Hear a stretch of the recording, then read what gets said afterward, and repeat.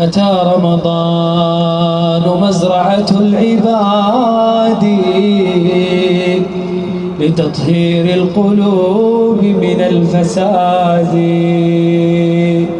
وأحسن منها أن قال الله شهر رمضان الذي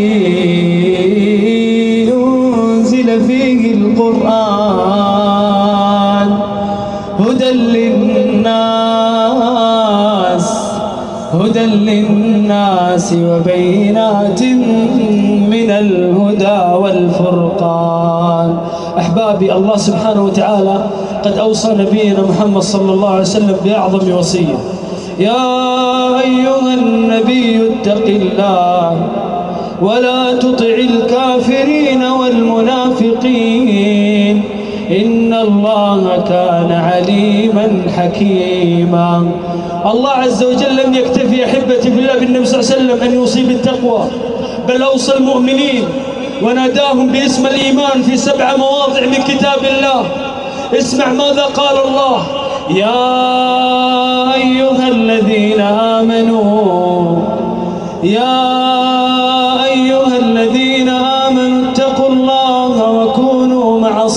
الصادقين اسمع ماذا قال الله. ينادينا باسم الإيمان.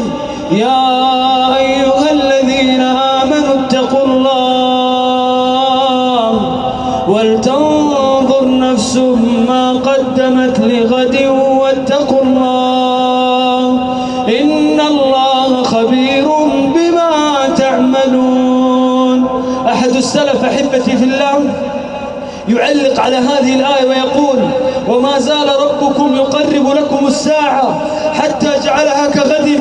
يا أيها الذين آمنوا اتقوا الله ولتنظر نفس ما قدمت لغد. واتقوا الله إن الله خبير بما تعملون.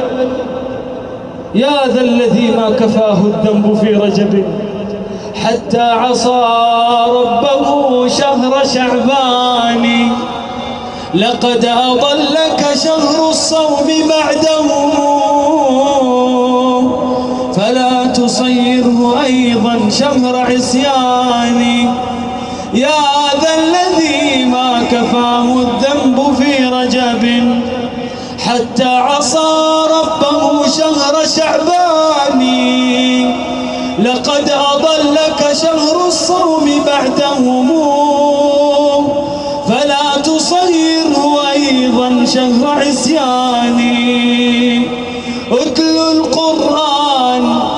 اتل القرآن وسبح فيه مجتهدا فإنه شهر تسبيح وقرآن.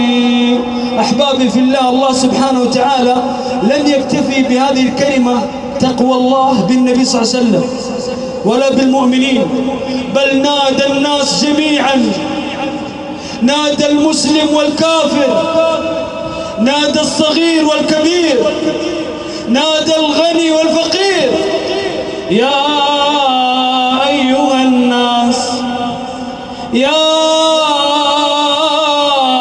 أيها الناس اتقوا ربكم. إن زلزلة الساعة شيء عظيم.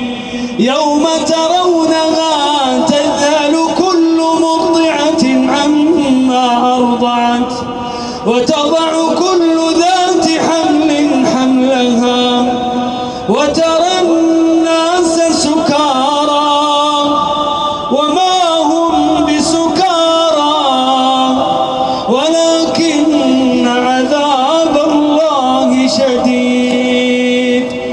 أحبتي في الله لماذا نذكر أنفسنا بهذه الوصية؟